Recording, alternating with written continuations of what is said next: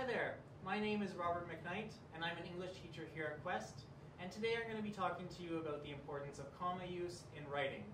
In speech, commas might be a little bit difficult to distinguish where they are in a sentence, but in writing, they're super important for your audience to understand the meaning of what you're saying. For example, if we take a look at these two sentences at the top, number one, let's eat grandma.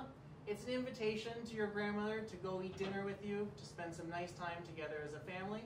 If we look at the second sentence, let's eat grandma, it's not exactly the same invitation.